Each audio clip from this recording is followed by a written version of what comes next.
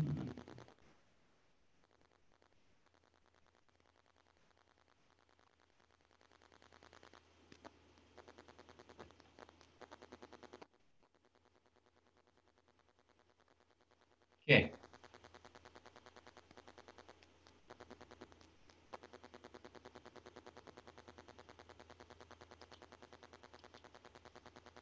All right. Well, good evening, everybody. My name is Kyle Denny, and I'm a planetarium educator here at the Peoria Riverfront Museum. And I'm really excited to introduce my co-worker and friend, Nick Ray, who will be presenting on the really cool and exciting missions coming up to the Red Planet. Now, before we begin, I want to give a quick shout out to the Visionary Society as well as our membership. Without your guys' support during these times, the content we've been producing as a museum simply would not be possible. And we thank you guys so very much. So without further ado, I will let Nick take over to be able to give us his presentation. Go ahead, Nick. All right, thanks, Kyle. Um, by the way, Kyle, you can interrupt me anytime with anything you want to add, and Anybody watching this live can send questions in and we'll try to answer them live as they come in. And also afterwards, we'll stick around a little bit if you have questions. But I'll, I'll interject really quickly and say, yes. if you have any questions, feel free to type them in the comments below and we'll answer them to the best of our ability. Um, also, we really appreciate it if you go ahead and share this video if you find this content really interesting. Share it with your friends, give it a like, like our page if you want to see more live streams like this. And sorry to interrupt you, Nick, but go ahead. No, thank you. Successful test of the interruption system. So welcome. Um, yeah, NASA is one. NASA's got uh, an awesome new rover headed to the red planet. It's not the only mission launching to Mars uh, this summer, but want to give you guys the information of what the new, especially the new NASA mission is all about and how you can experience the launch live and then the landing live, and then be able to follow the mission as it uh, hopefully uh, explores the red planet next year. So we'll give you all that information and some context of, of uh, previous missions to Mars and the other missions that are going to Mars and some history of our understanding of Mars. So we'll start way back in the ancient past.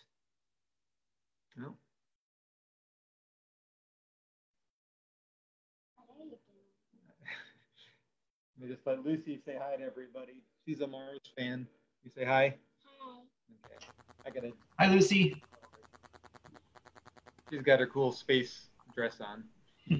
um, so here's uh, the view of Mars that anybody can see um, the right time when it's up in the sky. And it will be up in the sky late tonight after midnight. But by the time we get to October, you'll be able to see it in the sky all night long. And it will look like a bright orange star and it will be brighter than any of the stars in the sky. So it'll be pretty obvious, but it was obvious to people thousands of years ago, tens of thousands of years ago. People could see this bright light in the sky. And that's all it was. It was a light in the sky. There was no understanding that it was another world that uh, one day people would send machines to go explore. Now, when you watch Mars, uh, and, again, a long time ago, thousands of years ago, people did watch Mars closely um, because unlike the stars, which just stay in the same patterns like Orion the Hunter or the Big Dipper, when you watch Mars and the other planets, uh, you see them moving across the sky um, from night to night relatively slowly. Um, today we know this is because they're going around the sun. But a weird thing happens, and this happens to Mars every two years and two months as you watch it moving across the sky night to night. It'll go, it'll be going in one direction for two years and two months and then stop and change directions for a little while, going in the other direction, but just for a while. Then it'll stop and it will continue forward in its same general motion for the next two years and two months, which was very strange behavior for people trying to make sense of the universe. Today we know it's it's just the fact that Earth, we are on a planet that is moving around the sun. And we're moving around the sun faster than Mars, and we actually catch up to Mars every two years and two months. And when we lap Mars, just like if you're passing a car on the highway and you look out the window, the car will appear to be going backwards while you're passing it. When we pass by Mars, it seems to stop and go backwards for a little bit before it continues forward. As I mentioned, it's not just Mars that does this. The other planets do this because they're all orbiting the sun. That's actually where the name planet comes from, from the old Greek word for wanderer. Again, nowadays we think of planet as a world. Long time ago, it was just a wandering star. It wandered through the different uh, background stars and, and constellations. And our name for this particular planet, Mars, well, all the names of the planets come from the ancient Greek and Roman gods, mostly Roman gods, but uh, Mars is named for the god of war, uh, presumably because of the color of the planet, nicknamed the red planet. Actually looks kind of orange in the sky, but can associate associate that with uh, blood red. It's actually caused by iron in our blood as well as iron on the surface of Mars. So that was the view in, in, in antiquity. And it wasn't until uh, we had the Copernican revolution and the understanding that the Earth was going around the sun and that all the planets were going around the sun and that therefore the Earth is a planet and therefore the planets are other worlds. And once the telescope was invented in the early 1600s and people like Galileo started looking up into the sky uh, at stars and planets, that they were able to see that the planets are different from stars, not just in their movements, but that they are, when you look at them through a telescope, disks. And so here's a view, low resolution view, similar to what people would have had hundreds of years ago, looking through a telescope at Mars. And if you look closely, you might see there's some places that are a little bit darker. You might notice there's a little bit of a brighter white spot near the top. And as the telescopes improved over the centuries, well, people kept looking at the planets and looking at Mars and mapping it in better detail, giving names to the dark features and the bright features on the planet, and really mapping it out as a world uh, the same way we map out the Earth. And while people were making these maps and seeing, uh, you know, slightly better features on Mars and details, uh, especially science fiction writers let their imaginations run wild with the possibilities that uh, Mars could be a planet inhabited by other creatures, intelligent beings, maybe on an ancient dying civilization running out of water. Um, for one thing, Mars is farther from the sun, so people could deduce that it would be colder uh, out there at the distance of Mars. So that was kind of a science fiction view of the red planet and the popular view in the early 1900s. And things didn't really change from science fiction view to science until we got to the space age, which started with the launch of the first satellite on a rocket back in on October 4th, 1957, Sputnik. And once we could send satellites in orbit around the Earth, wasn't long before we could send satellites out to the moon and, and then out to the planets. And actually, the, the only time we send uh, missions out to Mars is when we lap Mars. So we have this opportunity every two years and two months. And when that opportunity comes, we say a launch window has opened. So the first launch window in the space age um, way back in 1960, there were two satellites sent from the Earth uh, with the hope of, of them flying out to Mars and giving us our first uh, close-up looks at Mars. Soviet Union spacecraft, well, they both failed. And as we go through uh, all the, kind of briefly go through all the missions that have been launched to the red planet, the, the Soviet Union did not have a good track record uh, sending missions to Mars. So they made the first two attempts. And a couple years later, the next launch window, three more failed attempts. So still, we're in the space age, early days of the space age and the space race, trying to get uh, astronauts to the moon um, and uh, trying to get these first missions to Mars, but still not seeing it up close. That changed when we got to the third opportunity in uh, missions launched in late 1964, which included another failed attempt by the Soviet Union. It also included a failed attempt by the United States, by NASA, but it also included a successful attempt by NASA. Um, and NASA sent these two spacecraft, Mariner 3 and Mariner 4, basically the same spacecraft, just to double their chances of having success. And it worked. While the one failed, the other one flew by Mars on July 14th, 1965, and gave us our first close-up pictures of, of Mars. This is actually the first uh, close-up image that we saw of Mars. This is not a photograph we're looking at. The spacecraft actually took black and white photos. This is a hand colored kind of paint by number picture that was put together because the computers at the time were so slow they didn't and the uh, people were the scientists were impatient to see what the first pictures coming back were well they're just data with with numbers of how bright or how dark uh, each pixel was and so while they were waiting for the computer to actually process this data and turn it into a black and white picture they went and got art supplies and did uh, uh, put numbers at each of the pixels and then color uh, coordinated them with kind of the dark uh, dark browns being darker regions going to lighter whites and yellows for the lighter regions. But this is just black and white, the actual picture. Let me show you now. There's a comparison of the, the hand colored picture on the left with the actual photograph that was uh, that finally processed as a black and white picture. First close-up picture of the surface of Mars. Again, this is back in the 60s. Uh, it's not the awesome pictures that we're used to seeing from Mars today, but it was close up and you could see some clouds hanging out. There's some clouds located over there on the edge on the horizon of Mars, pretty cool. And there's, as it flew by, it just flew by the planet, didn't go into orbit. Just the flyby, zoomed by, took 22 close-up pictures, and those were our first close-up looks at the red planet from Mariner 4. No attempts, the next launch window, but the following one, four missions launched to the red planet, including two more failed attempts by the Soviet Union and two more successful flybys by the United States by NASA, Mariner 6 and Mariner 7. If you're wondering what the other Mariners were, like 1 and 2 and Mariner 5 and some other ones later, those went to other planets like Venus and Mercury. So, same designs, but going out to different planets. And they just flew by Mars again, both flybys, taking pictures up close of Mars with slightly better technology. And then we get to launch window six. And this is after people have landed on the moon. Um, NASA is still landing people on the moon.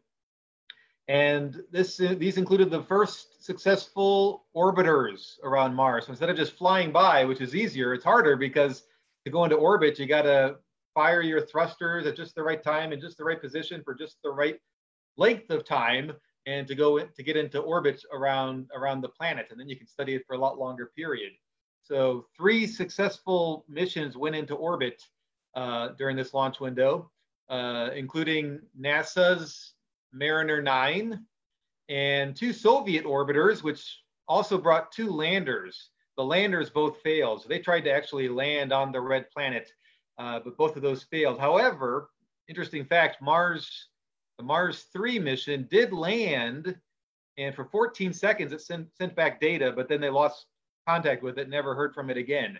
So it was successfully, uh, you know, technically a successful landing, but we didn't get anything from it, only 14 seconds, and, and that was it.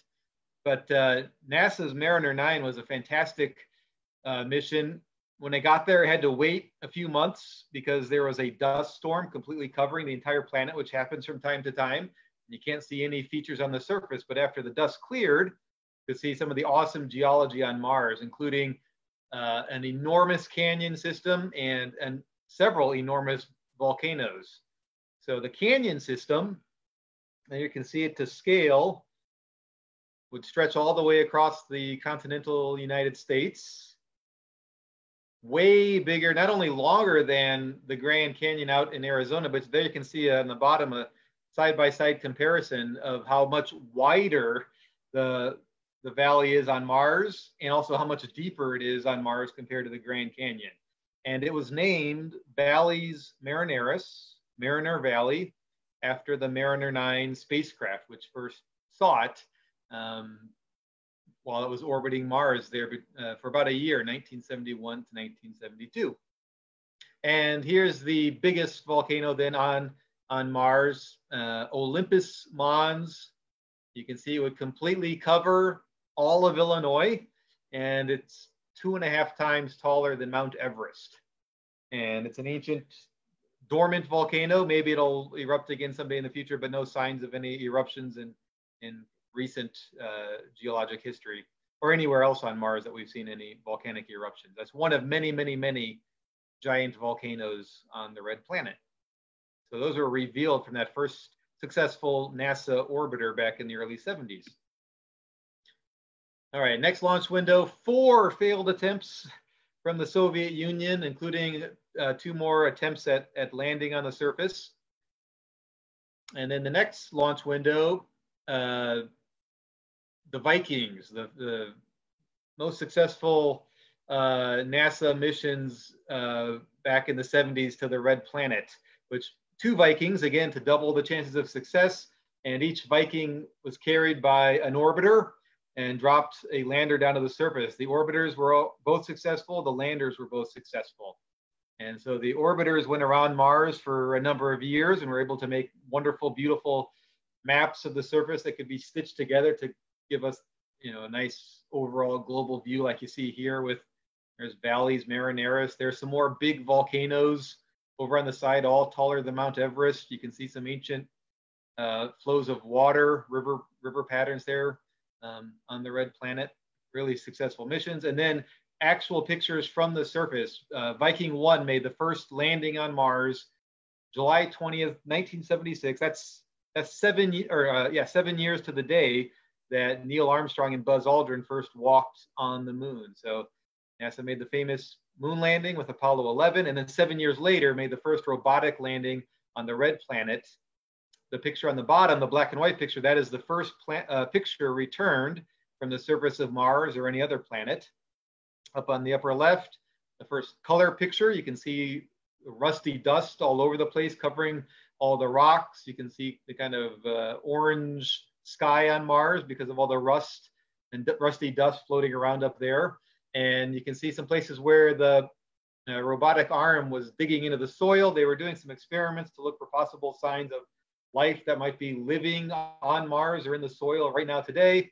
Uh, got some negative results and some inconclusive results. So um, don't really know. There's still a possibility. People still hold out the possibility that there could be life on Mars today, on Mars today, but probably deeper down, maybe in, in places where Viking couldn't have reached uh, at the time. And when we get to Perseverance, we're going to talk about how they're looking for possible life, ancient life on Mars, evidence of possible uh, life on Mars billions of years ago. Viking 2 landed on the other side of the planet.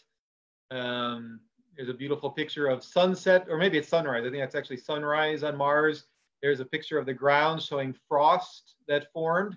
We saw from the early earlier Mariner picture clouds in the atmosphere. Those are clouds of water vapor.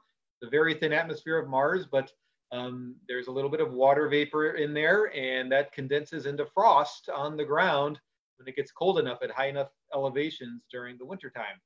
And there's a Calvin and Hobbes when Calvin and Hobbes went to Mars and uh, came across one of the Vikings and made some funny faces in the in front of the cameras on Mars. All right, now we hit the doldrums. So after that dramatic, awesome success and that buildup where you see almost every launch window, either the Soviet Union or the United States or both are sending missions to Mars, getting better and better and better, flybys, um, orbiters, and then landers. Now we hit the doldrums where nobody is sending anything to Mars for a long time. Lots of times we're passing by Mars every two years and two months. Nothing is going to the red planet. Finally, 12 years, uh, 12 years after Viking landed on Mars, uh, the Soviet Union made their last attempt at sending uh, spacecraft to Mars, uh, last attempt before the Soviet Union collapsed a few years later. Um, and both of these uh, um, orbiters lost contact. One, one lost, we lost contact with on the way to Mars. The other one got to Mars, but very soon lost contact. So we did get, you know, here's a cool picture of one of the two little moons of Mars, Phobos, not round, not big enough to be round. Got two little moons that look like asteroids. Um, but both of those were essentially failures because it was only only briefly there before it lost uh, lost contact with it. And then a little bit after that, uh, the United States decides to get back in the game, but unfortunately uh, lost uh, contact with with their new big heavy duty um, orbiter um, just days before it got to Mars. So it had been traveling for months and months and months. actually takes about anywhere from like six to nine months roughly uh, for these missions to get out to Mars. So communicating with it, lost communication just few, a few days before it got to the red planet, unfortunately. But in the wake of that failure, NASA did some reorganizing and kind of made a whole new division within their planetary science division called the Mars Exploration Program, where they would uh, allocate a certain amount of money every year towards building missions that are going to be addressing certain scientific uh, questions about the red planet and we gradually build up knowledge of it and capability. This has been a what they've been following now since the early 90s. There's still Perseverance, the new Mars rover uh, that NASA is sending, is part of this Mars exploration program. So two launch windows later in the mid 90s, well, there was another, not, not the Soviet Union, but Russia sent, tried to send a, a, mission to Mars, which uh, did not even get out of Earth orbit. So another, continuing their string of failures, but NASA sent the very successful Glo Mars Global Surveyor uh, to orbit the red planet and map it and, and, and uh, I'll show you their map in just a moment. And another landing on Mars to bring the first rover to Mars as a, a, a, a test of the concept of actually driving around basically a remote controlled car on the red planet. So Mars Global Surveyor, it orbited Mars uh, for almost a decade and did a whole bunch of cool science stuff, uh, including this fantastic elevation map of Mars, um, where you can see you can see the white areas here where the, the giant volcanoes are popping out. There's uh, five of these colored white here that are all taller than Mount Everest. You can see the low elevations in blue. Notice how smooth and the lower elevations in the northern hemisphere. The southern hemisphere is higher elevation, rougher terrain, more craters. Uh, and you can even see Valles Marineris uh, flowing out into these low elevations where there's clear erosion by water. Um, and we'll look at some other pictures up close from there. Um, evidence not only of, of, ancient water on Mars, but possibly an ancient ocean on Mars. An ancient meaning more than 3 billion years ago. But these elevation maps are still used today. Um, uh, for example, when we look when you look at the Perseverance stuff and where it's going to land and and people use these elevation maps to, to get a handle on, on where they'll be landing on the red planet. And this uh, lander and rover made the landing on the 4th of July, so great uh, for uh, you know United States Independence Day, 4th of July, and their uh, space agency landed and sent out the a couple days later the first uh, rover to drive around on the red planet. So there's the little rover It's called Sojourner. It was named by a student, which same with Perseverance. All of the rovers that NASA has sent to Mars have been named by kids, by students in in essay contests, and I'm sure that condition will uh, that uh, that will continue that tradition. So for future missions, uh, if you have any kids, know any kids or any kids watching, and you're in school, you'll have a chance to maybe name the next rover or mission going to Mars.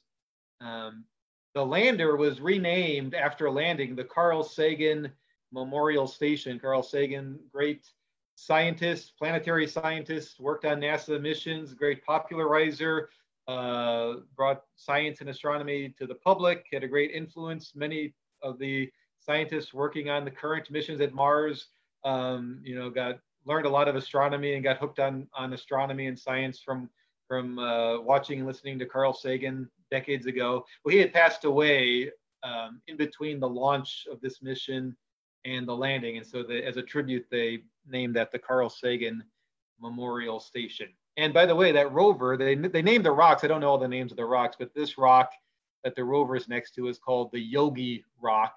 You can sort of see a bear, a profile of a bear, if you use your imagination there. Yogi Bear. All right, well, after that great success, unfortunately, the next launch window, two failures. Um, we had, uh, NASA had uh, a lander that was gonna land closer to the, the poles on, uh, closer to the South Pole on Mars, but it crashed. And uh, they also had a satellite that was going into orbit around Mars to study the climate of Mars. And it probably crashed, or maybe it, it might have missed the planet, burned up or something, or, or just went around the planet. Uh, infamously, the reason that missed, we, we figured out, was because of a software mistake where they, you know, you have units, you have feet and miles, but then there's also units like meters and kilometers. And one of the things in the software was in feet and miles instead of meters and kilometers. And that it's everything's got to work, everything's got to be perfect, and there's essentially no room for error. And that little error in the software um, that they didn't detect um, cost them this expensive Mars mission. Japan also sent a mission to Mars, but uh, this is the only attempt Japan has made uh, to the red planet, which which failed. Um, unfortunately, they've had uh, some success sending missions to the Moon and Venus, and they've got one go going uh, to Mercury right now. Just uh, failed on their uh, attempt at Mars. All right, well, after that uh, NASA failure, now it, we're going through a string of success that will hopefully continue with perseverance. So uh, a couple years after those failures, NASA sends Mars Odyssey, which not only was successful, it is still operating in orbit around Mars today. Um, I check their website every almost every day. They put out a new picture every day. Um, so it is still operational and doing awesome science at the Red Planet. And there's a low resolution or far away picture, I should say, an actual photograph of Odyssey orbiting Mars taken by another satellite.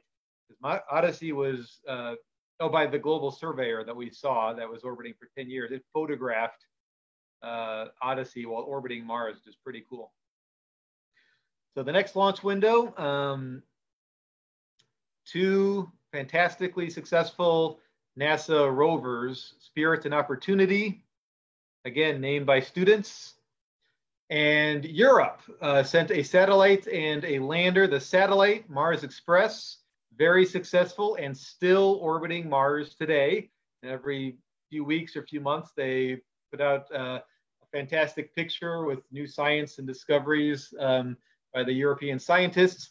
Their um, lander, unfortunately, uh, did not succeed. We actually know it landed. Now we've been photographed it on the surface, but it did not open up all the panels and was not able to communicate. So that was a, a non-success. So there's a there's an example of the awesome pictures that Mars Express sends back to us. Uh, I believe that's the south pole of Mars. That's the polar ice cap. There's one at the north pole as well, covered frozen water, huge quantities of frozen water, and also dry ice that just comes out of the atmosphere. Again, very thin atmosphere. I mentioned the water vapor. We saw the frost in an earlier picture. By the way, this is why the Mars doll has has the white hair on top. Um, but uh, the carbon dioxide, it's mostly carbon dioxide in the atmosphere, and it gets cold enough to make dry ice. It also warms up then in the summertime, and the dry ice sublimates back into gas, and that's why you see some of these awesome swirling patterns because because it's depositing and, and then turning back into gas and making winds and knocking things loose. It's causing avalanches, causing all sorts of cool stuff by the polar ice caps. And then the two awesome rovers, which were sent for a three month mission to Mars, Spirit was able to drive around and explore the red planet, covering miles. It was up there for six years, successfully driving around. There's uh, it landed, made a cool landing, just like the Pathfinder, where it was kind of bundled up inside a bunch of airbags that then just bounced around and and then deflated and opened up and started driving away. And there's a beautiful sunset on Mars where you get the color changing from orange to blue. Cool little logo they had with Marvin the Martian. And for the twin opportunity, they gave the Duck Dodgers. Um, cool cool little logo. And Opportunity was even more successful. Both of these uh, missions, by the way, were sent to look for evidence of water on Mars. They both found evidence of water affecting uh, the rocks on Mars. The, the Spirit rover um, found volcanic rocks, which had been slightly altered by, by water, uh, not long periods, so probably not a lake or anything, although maybe there's evidence of an ancient lake buried there, but um, slight uh, um, chemical changes from water flowing there, and much more substantial um, water um, changes to the rocks where opportunity was driving around. And it actually covered over tw 25 miles on Mars. It has set the record. You can see it's gone farther, uh, farther than a, a, Soviet rover that drove around on the moon, farther than the, the three rovers that NASA sent to the moon with the Apollo, the last three Apollo landings to drive around on the moon. Uh, so incredibly successful mission. There's a cool picture. Uh, it drove by its heat shield. So there, the heat shield crashed and kind of got destroyed, but there it drove by the heat shield. There's some awesome exposed bedrock uh, on the inside of a crater. There's a selfie it was able to take, take a bunch of pictures and stitch them together to take a picture of itself on Mars. There's a meteorite on Mars. By the way, we have meteorites on Earth that come to us from Mars.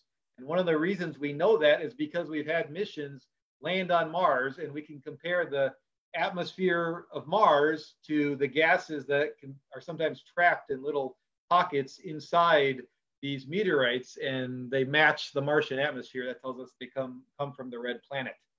And here's a cool picture showing the tracks of opportunity. And in the distance is, it looks like a little tornado. That's a dust devil, a swirling uh, funnel of dust that can sometimes stretch for miles high in the sky. And they've made awesome movies watching these zip across um, the, the dusty landscape of Mars. And uh, here we get to, I think, my favorite uh, satellite orbiting Mars. It's still orbiting Mars today. Went uh, in 2005. The Mars Reconnaissance Orbiter takes the highest resolution pictures of, of Mars from the surface and it sees uh, first of all it sees robots on Mars, it sees robots landing on Mars, it sees changes on Mars, it sees craters uh, being that have been made by asteroids and stuff crashing into Mars while it's there. And here's an awesome picture of an avalanche on Mars. I mentioned the dry ice. You can see the top of a cliff. Here's the side of a cliff. Dry ice sublimating into gas into gas as it's heated in the in the summer months of Mars, knocking soil and dirt loose and causing it to um, slide down that cliff. This is in the process of sliding down and hitting the, the bottom of the cliff there, knocking up a cloud of dust. Just awesome stuff that we couldn't see before. And now we can see again, this is still orbiting Mars today. And uh, like the, uh, um, um, well, like the other earlier Mars mission we mentioned, um, Mars Odyssey, it's, it's still putting out a picture every day. So I check check every day almost their website, and you can see an awesome close-up picture of Mars. All right, next launch window, another successful NASA mission. Mentioned the other one that failed that was going to land near the South Pole. Well, this was kind of a, a little bit of a cheaper version uh, with some of the similar similar instruments doing the same similar science. Landed near the North Pole of Mars in the polar regions, and uh, worked for a few months up there the Mars Reconnaissance Orbiter we just saw was able to photograph Phoenix while it was making its landing with the parachute, slowing it down. And there's a picture that it took of Phoenix on the surface. Just awesome high resolution pictures. There's a picture from Phoenix looking out across the horizon.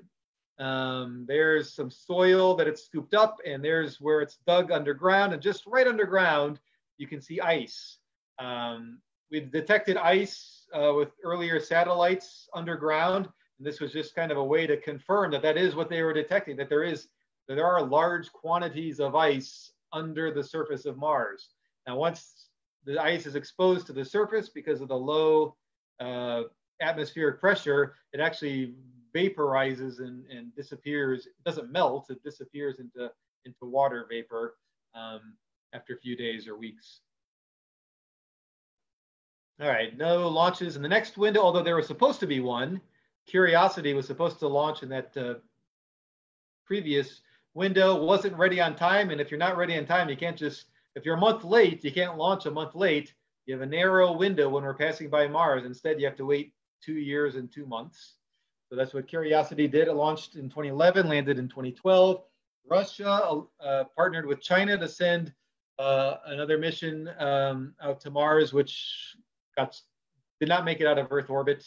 So another um, failure on that attempt. But Curiosity, again named by a student, has been awesome, and it is roving the red planet right now. Um, it's the only one. It's one of two active missions on Mars. There's also six active satellites orbiting Mars, but it's the one that's moving around and it takes awesome selfies. It's got a robotic arm and it takes a bunch of pictures. You stitch them together, and because the arm is moving in each picture, you kind of uh, digitally remove the arm. And so it looks like somebody's there taking a picture of, of it. It looks like it's got a, a head with two eyes. These are two cameras. Um, this is the mountain, Mount Sharp. Uh, about three miles high, I think, very tall mountain. It is making its way up that mountain. That mountain is not a volcano, it is actually sediment that has been deposited inside a very big crater.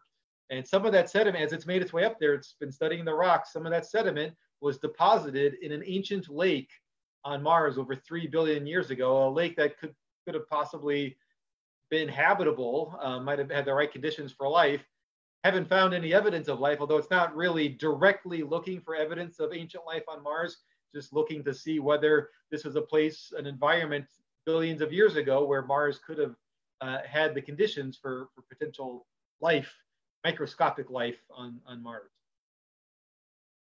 And there again, you see awesome pictures from the reconnaissance orbiter of it descending through the atmosphere with a parachute.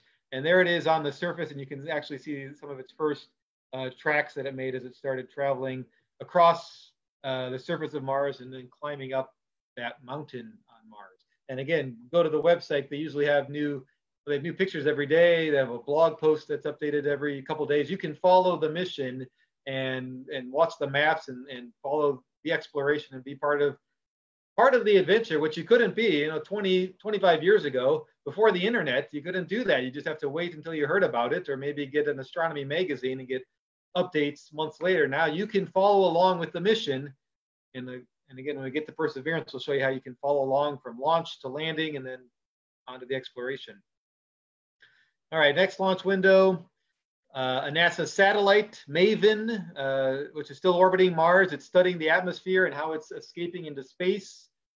Mars used to have a much thicker atmosphere, and so that's trying to understand how Mars has lost its atmosphere over time and India, uh, which has had a uh, which had already had a successful satellite at the moon, and they've got their second successful satellite at the moon right now, uh, has a satellite orbiting Mars, the Mars Orbiter mission, MOM. Uh, so their first interplanetary spacecraft still orbiting the red planet. All right, next launch window was uh, back in 2016, Europe. European Space Agency, and uh, um, they sent a satellite and a lander. The satellite is still orbiting Mars successfully. The lander failed, and this is a picture from the Mars Reconnaissance Orbiter of where it crashed on the surface. Um, NASA, the United States, is the is the only country to successfully land on Mars. They're eight for nine landing on Mars. We saw, I don't know how many failed attempts from the Soviet Union and Russia, and now Europe has had two failed attempts as well. To give you an idea, it is hard. Mars is harder to land on than the moon um, or Venus. And that's because, unlike the moon, Mars has a little bit of atmosphere. So you can't just use rocket, retro rockets and, and stuff and just uh, safely land. You have to worry about the atmosphere and have a heat shield and deal with all that heat coming in. Um, you also, unlike Venus, which has a really thick atmosphere, you can just put a parachute on it and it'll slow it down. You can't do that on Mars because it has such a thin atmosphere. So it makes it the hardest planet to land on. And you can see that by the failed attempts by uh, Europe and Russia and the Soviet Union. But NASA now is eight for nine. And 2018 was their most recent mission to Mars is the most recent launch window to Mars, uh, the 44th launch uh, sending spacecraft to Mars. um, the InSight mission, which successfully landed November 26th to measure the inside of the red planet. Uh, so here's a cool selfie it took showing its solar panels. And here is two uh, science experiments on the surface. One of them, the mole, is, was supposed to hammer itself 16 feet underground to measure the heat coming out from inside of Mars, basically measure how hot it is inside of Mars. But that has not been able to get underground. So they had expectations, reasonable expectations for how the soil would work on Mars and, and how they could design this to actually get underground. But that has not panned out. And so they have not gotten measurements from that. And it does not look promising, although they're still making attempts. It does not look promising. The other one has been very successful and is the main one. It is a seismometer. Seismometers measure earthquakes on Mars. We call those Mars quakes. It's detected hundreds of Mars quakes and that is uh, helping scientists make a 3D map of the inside of Mars. We've got all these great maps of the surface of Mars. We've got pictures from the surface of Mars, radar showing us a little bit underground, but now we're going to get to actually understand the core, the mantle, the crust, how deep down do you have to go before it gets so hot that it's liquid inside, just like we understand that about our planet.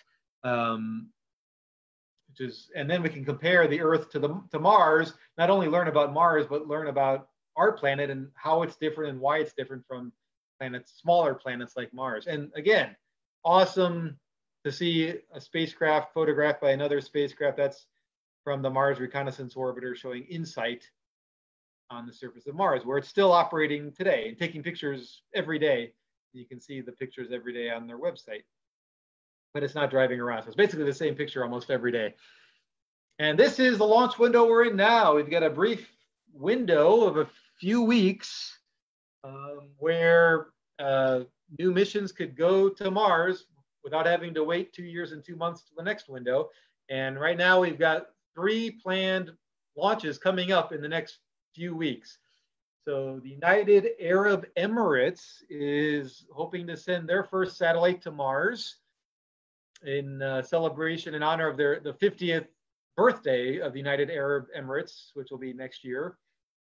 China, which has had uh, four successful missions at, at the moon, uh, robotic missions at the moon, including two robotic landers and rovers, and an active lander and rover right now on the far side of the moon are going to make their first attempt at an interplanetary mission, a satellite, a lander, and a rover at the red planet. We believe they're going to be launching uh, next week.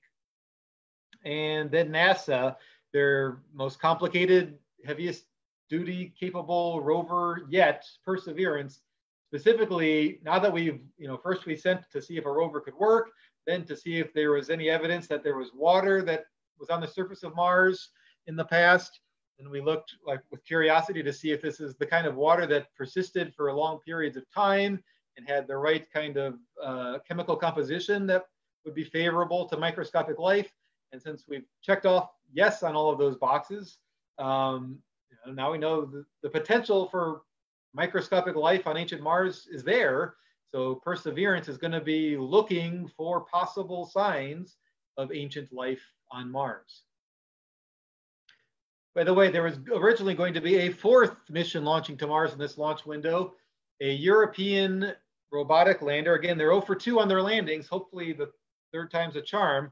Uh, the Rosalind Franklin rover, which is named after the uh, woman who took X-ray photographs of uh, DNA, which is how they were able to then deduce that awesome, famous double helical structure of DNA based on those X-ray photographs. And it'll be doing similar stuff when it lands on Mars hopefully successfully, not, not during this launch window, but the next one, it'll be looking like Perseverance for evidence of ancient life on Mars. But uh, they could not get it ready. They could not, they had trouble with the parachute. It's not ready to go. And again, you can't just get it ready and then launch it when it's ready. You have to wait two years and two months, unfortunately. But something to look forward to during the next launch window. But for this launch window, Mars Hope, again, that's the United Arab Emirates. They do have a space agency, and they had their first astronaut launch into space just last fall. They went uh, on a Russian Soyuz spaceship uh, with a Russian cosmonaut and uh, the NASA American astronaut, uh, Jessica Meir. So the three of them went to the space station. The Russian and the American stayed for like six months or so, or maybe even longer. Uh, but then the the the Emirates astronaut uh, came back down with two other astronauts about a week later or so. So he went up there for about a, a week or 10 days, something like that. So they do have astronauts, and now they've had an astronaut in space, and now they're sending their first their first robotic mission. Uh, they're just bypassing the moon and going straight for this interplanetary mission to Mars again to coincide with the 50th birthday of the United Arab Emirates, which uh, started in 1971. So it'll arrive in Mars hopefully in in February of 2021. And again, uh, don't have too many details, but China of when this is going to launch. But hopefully, we think in the next week or so, China is going to be launching their first mission, interplanetary mission. They've had four successful missions at the moon, and they've launched. They have launched their own uh, astronauts into space on their own rockets in their own spaceships, and even sent them to their own small space station. So they, they've all in the 21st century. So they've developed a very capable space agency, and they're going to be making their first interplanetary robotic mission, a an orbiter, a lander, and a rover. Um, so, and it's called Tianwen 1, which is Chinese for Heavenly Questions. It's apparently the name of their interplanetary program. So maybe future missions, not just to Mars, but to other planets will have that, that name. All right, now let's finish by just looking at the NASA rover Perseverance, also known it was known as Mars 2020 for a long time because um, they had to wait till it had the official name. They had the student contest um, where people sent in essays, and this is like anywhere from like kindergarten through 12th grade, I think. Um, send in essays, your suggestion, and why it should be named this. And they announced the winner, Alex Mather, um, a seventh grader in Virginia, I believe, uh, came up with the name Perseverance, had a great explanation for it. And that name is now etched onto the arm, the robotic arm of the rover. And so you'll see it hopefully when it's on Mars taking photographs, you'll see its name in some of those pictures. Um, and yeah, something cool for the next Mars rover, whenever that's coming. Um, great way to get students involved and aware. And again, because now, now you can follow. If, you know, there's tons of space nerds out there, and if I was when I was a kid, if I could have been following on the internet all these missions to other planets, I would have been doing that. Um, it's a great opportunity, not just for everybody to be involved, but especially people who love this stuff. If you love it, you don't have to wait for it to come to come to you. You can go to the NASA website. They have a specific website again, Mars Exploration Program. They have a specific website just for Mars uh, with all their missions going on and coming up, and you can follow all the missions there and, and see that. So um, a great way to get everybody aware of this and to participate in it. And uh, by the way, this is how oh, I, I didn't mention, uh, but Curiosity is powered with plutonium. Same thing with Perseverance. The earlier rovers were solar powered. Plutonium is uh, not only the same energy source that uh, Curiosity is using on Mars right now, climbing up that mountain of sediment deposited in an ancient lake, but was also the energy source of the time traveling DeLorean in the first Back to the Future movie. If you remember, he had to steal plutonium to, to power the, the, the time machine. Uh, so that'll be uh, uh, powering the Perseverance rover as well. It means it can operate any time of the day. Um, it'll just gradually lose power very slowly over time, but hopefully um, its nominal mission is one Mars year, which is about 687 days, so a little less than, than two Earth years. But um, that was also true of Curiosity, and Curiosity has now been climbing up that mountain for uh, coming up on eight years. So hopefully it'll be going much longer past its past its warranty.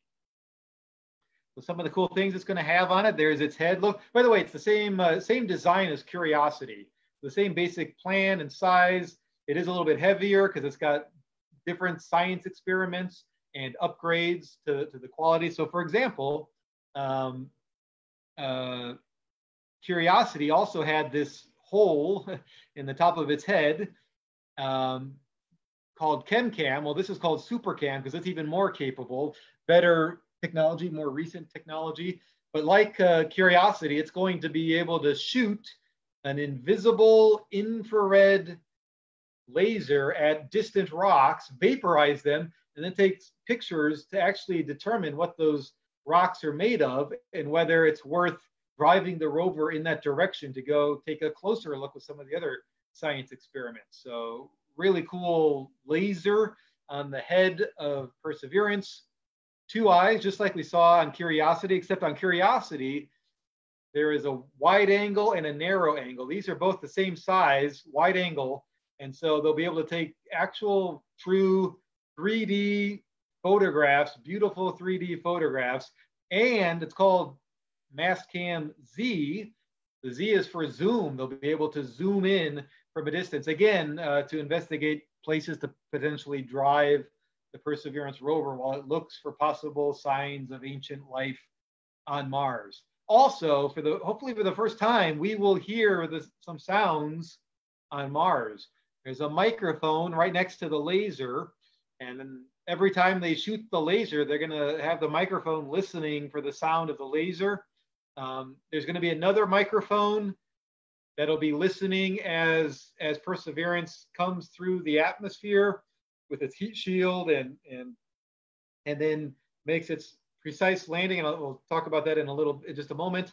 But uh, we'll hopefully hear the sounds of Mars as it's rushing through the atmosphere and getting pushed around by the air and throwing off the heat shield and deploying the parachute and touching down on the surface. Hopefully that'll the sounds, not only the video of that, but the sounds of that'll be recorded. It'll and those will make awesome, awesome movies of landing on Mars.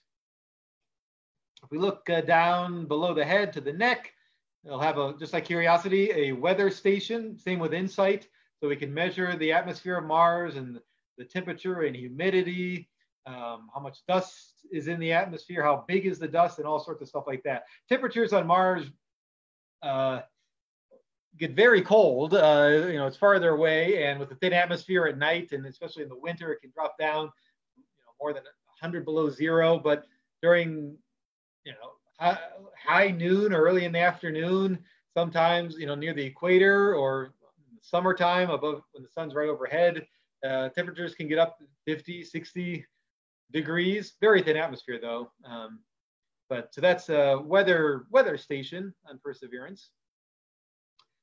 This is a, a chemistry thing going inside of Perseverance, MOXIE. It is going to take the carbon dioxide from the atmosphere, which is most of the atmosphere of Mars is carbon dioxide. There is no oxygen. There's no oxygen in the atmosphere of Mars or any other planet in the solar system except for Earth. And the only reason it's on Earth is because of bacteria and algae and plants, which take carbon dioxide from the atmosphere and turn it and while they're doing their chemistry, selfishly doing chemistry for themselves to survive, make oxygen that they don't need that comes out. And that's, and if those things all died, we would breathe in the oxygen and use it up and it would go away very slowly. So there's no oxygen on Mars, but this is a test to see for future astronauts living on Mars, whether we could grab that oxygen on a much larger scale, just to test uh, to see if it's feasible, to grab that carbon dioxide and uh, turn it into oxygen that not only you could use for breathing, but also for uh, fuel, because you uh, rocket fuel, oxygen and hydrogen combined together, and you can create explosions and you can launch rockets. So really cool thing. Looking forward to the future for sending people to the red planet. This is a radar uh, instrument, RIMFAX, which is named after the horse of night in Norse mythology, because uh, some uh, um, Nordic, I don't know if it was a government agency or a scientific agency, uh, built that. So they built it and contributed to this mission. It's going to be shooting radar below the surface of Mars and being and where Perseverance is driving, looking for changes in the composition of the bedrock, possible meteorites underground, possible deposits of ice underground or, or lava or even lava tubes. So it'll be measuring about 30 feet or so below the surface of wherever Perseverance is driving. Uh, PIXL, this is on its arm, which will be able to go out and take close-up pictures, in this case, using uh, shooting x-rays. So we saw they got the cameras and the and, and chemistry stuff from far away. They can go get in really close and set its arm right on top of the rock, shoot x-rays on the rocks and the soil, and then see the glow that comes from those and see what they're made of. And so we're able to tell what elements are coming out. Is there lots of carbon? Is there lots of oxygen, you know, coming from chemicals uh, in the rocks? The kinds of uh, chemicals and elements that we see incorporated in living things here on Earth. And similar to that, also on the robotic arm, SHERLOC uh, will be uh, looking at, it'll be shooting an ultraviolet laser up close and again, it'll be able to tell what kind of minerals the rocks are made of. And then we can tell what those mineral, what elements those minerals are made of. Because some minerals get produced in life. Uh, we have calcium carbonate in our bones and, and, stuff like that. So it'll be looking at the minerals of rocks up close, looking uh, not only just doing geology in general, but also um, trying to look for possible signs of ancient life on Mars, microscopic life. And when it finds really interesting samples that we want to look at e even with better scientific experiments, it will be able to drill a, a core from the ground of Mars and store it in these samples one at a time, a couple dozen of them.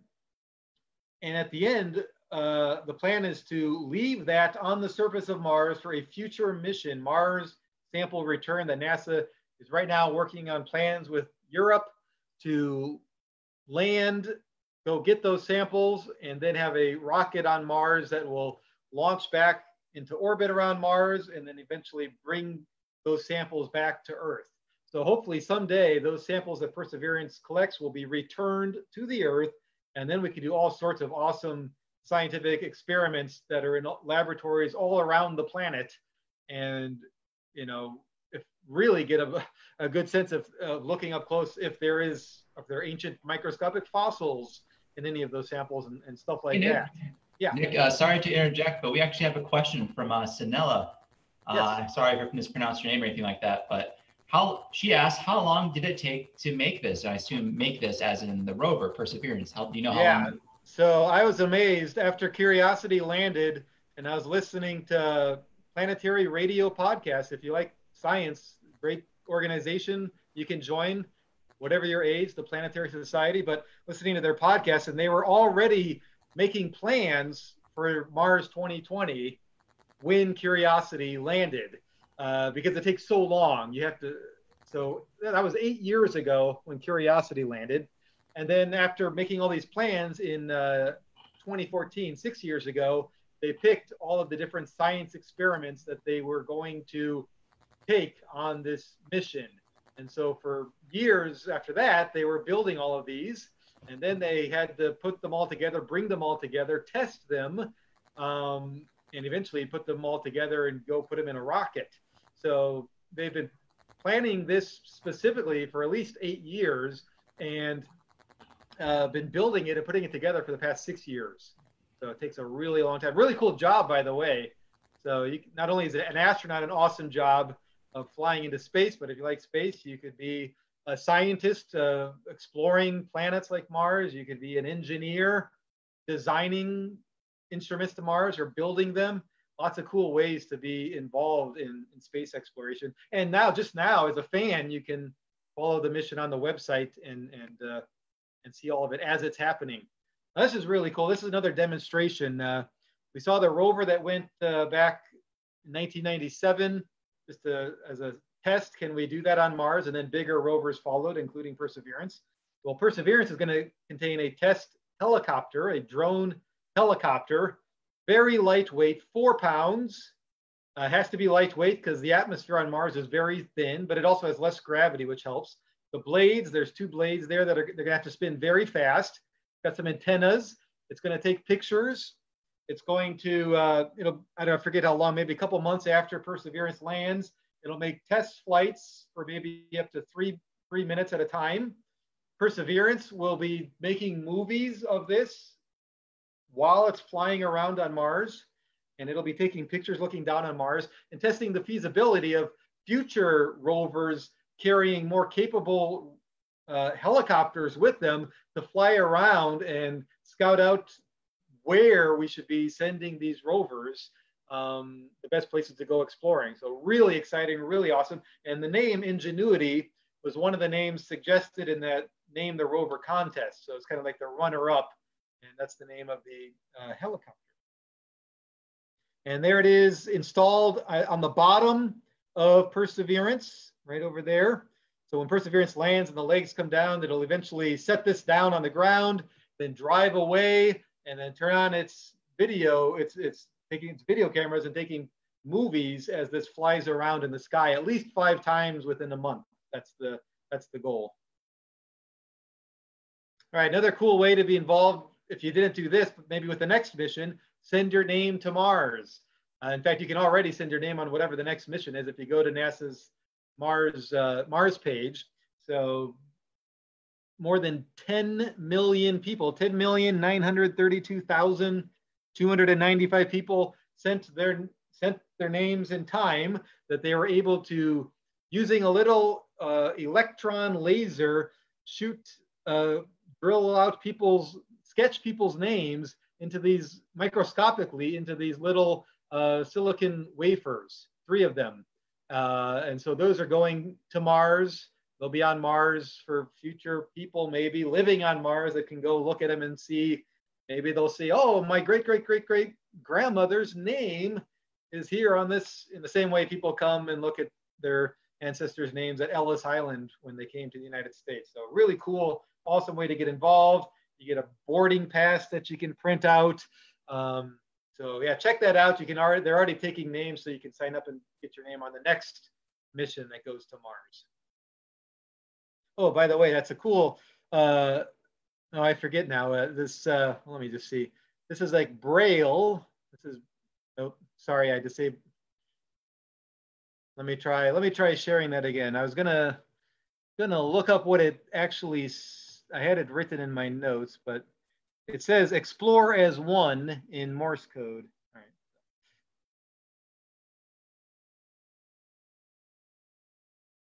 All right. All right, another cool thing that they're doing, uh, of course, they're doing the final stretch of this while the coronavirus pandemic is going on, which is making things much more complicated and much more slow to do all this stuff and, and harder. Um, and kind of as a tribute to that, they also put little things on these things so that the, the, the weight or the mass of everything is balanced just right. They put on uh, this plaque, which you can see attached to the side of the rover. It's called the rod of Asclepius, this rod with a snake going around it. And that is the symbol, the universal worldwide symbol of medicine. It goes back to some ancient Greek mythology about uh, Asclepius and his rod and, and seeing a snake uh, healing other, another snake with an herb and the birth of medicine. So it's tied into Greek mythology and it is on there and you can see it is carrying on top of the rod the earth and uh, and launching from the earth onto the red planet you can see perseverance on its way all right so uh, here it is in florida it's in florida down at the kennedy space center by kennedy space center cape canaveral this is the rover tucked inside uh, the descent stage. Underneath it is the heat shield. Above it is the cruise stage. So while it's on its way for uh, six, seven months to Mars, when we're communicating uh, electronically with it with radio waves and sending stuff back and forth, it'll be with the computers and stuff on, on this thing, which is carrying the rover inside. There's some people getting it tucked away. So there's the heat shield now attached. And when they get to the Mars Martian atmosphere, this will get just discarded. Uh, the heat shield will protect the high temperatures from the friction when it gets in. Um, the this will deploy parachutes to slow it down. Then the heat shield will come off, and and this thing in the middle here will be taking pictures and making measurements, and it'll be looking for a specific place to land.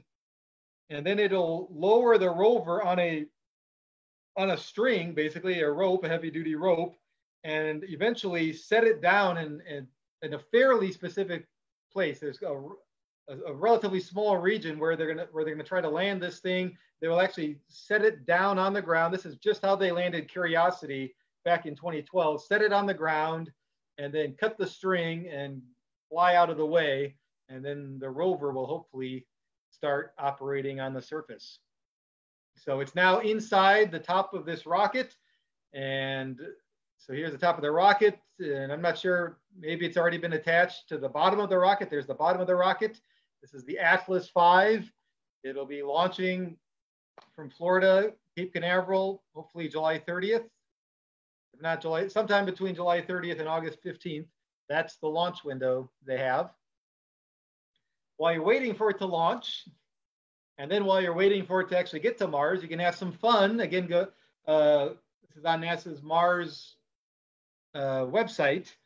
Uh, you can go to the Mars Perseverance photo booth, upload some pictures of yourself, your friends, um, and then they give you five different backgrounds that you can put them in, and then you can share them on social media.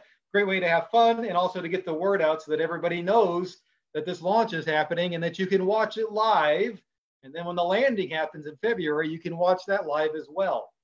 And this is where Perseverance is landing. It's Jezero Crater. Uh, think it's about 30 miles across, something like that, relatively.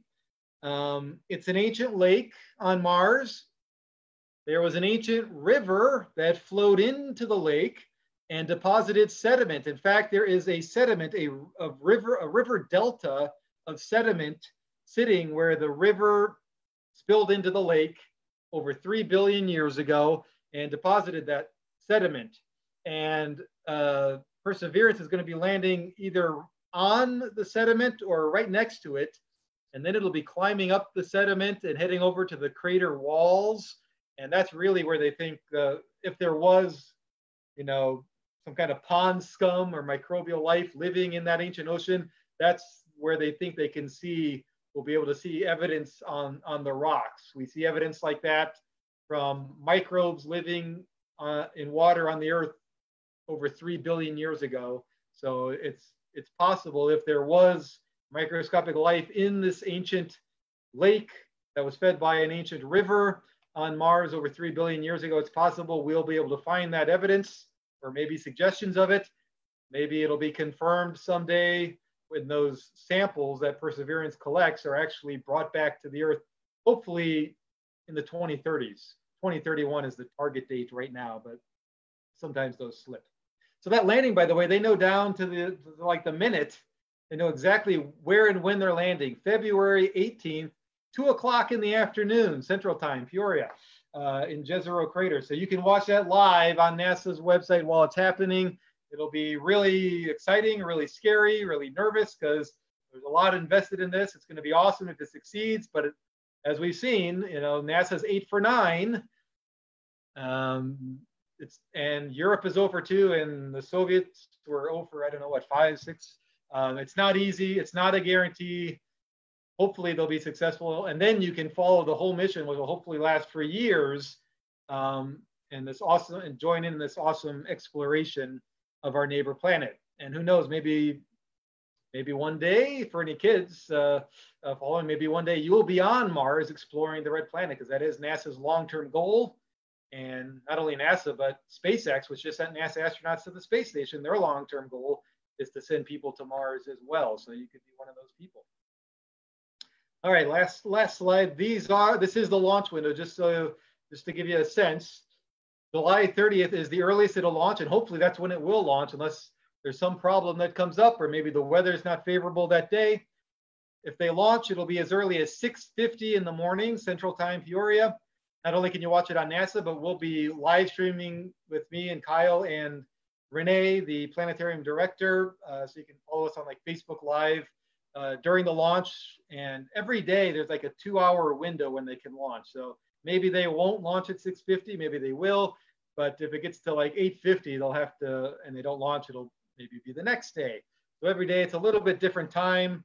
Um, but you can follow us, follow us on Facebook. We'll be posting updates to it. And again, we'll be live streaming uh, when that launches. And I'm sure we'll be doing live streaming um, in February when it when it lands, hopefully safely in that ancient lake on Mars. But you only have till uh, between July 30th and August 15th before the window closes. So hopefully we'll get it in there. And that's it.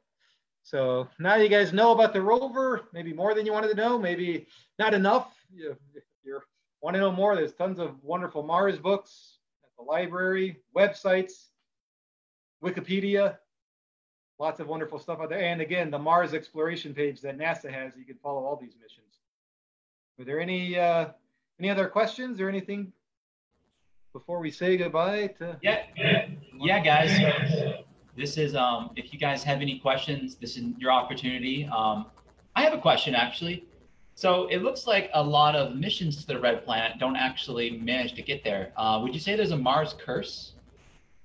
I wouldn't. I, I'm, a, I'm an optimist because uh, a lot of people will say how hard it is to Mar to get to Mars, and it's like 50% success rate. But you notice the success rate was way lower in uh, in the 60s and even in the early 70s when these things were just starting. And the success rate after a few disappointments in the 90s has been uh, pretty good. Uh, you know, ever since NASA's two, you know, NASA had two failed missions in the late 90s. Everything they've done in the 21st century to Mars has been successful, including uh, three rovers, two other landers, three satellites, uh, and six of the and, and and three of those satellites and two of the two of the land one of the rovers and one of the landers are still operating today.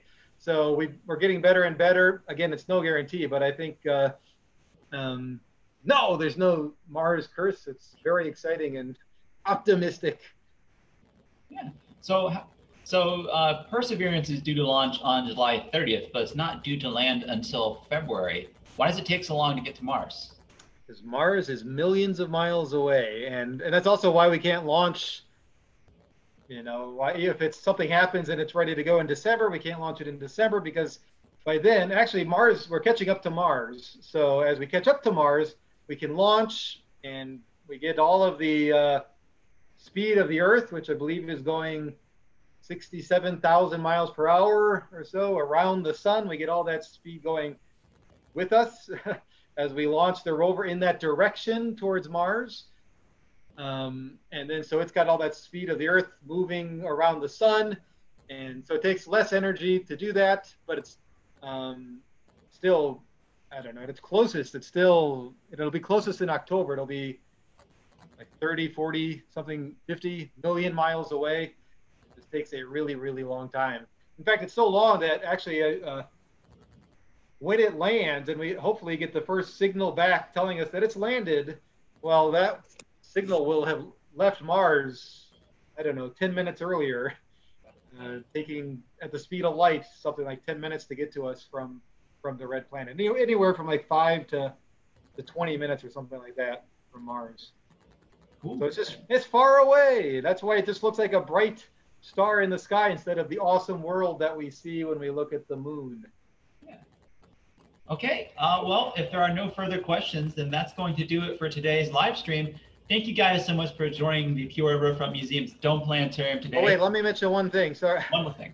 I should say, I should mention, we also have a, a, new live planetarium show every day at 4 o'clock, Tuesday through Saturday, which will be playing through the year and at least up until the launch. So you can learn about that and fly in our pretend spaceship to the red planet and go down and see where they landed and and see the satellites and the moons and stuff like that. So if you want more in the planetarium environment, which is where this would be if we didn't have the you know the current pandemic, we'd have this in in the planetarium and we get to do a bunch of other cool stuff in the planetarium. But you can still come space out. We've got you know masks for everybody in the in the museum and the planetarium, and uh, extra spaces between seats so that everybody's spaced out six feet at, at minimum. And so it's safe to come in, safe to come in uh, if you want to see some more Mars stuff. Four o'clock, Tuesday through Saturday, any day, our planetarium show will be the Mars show.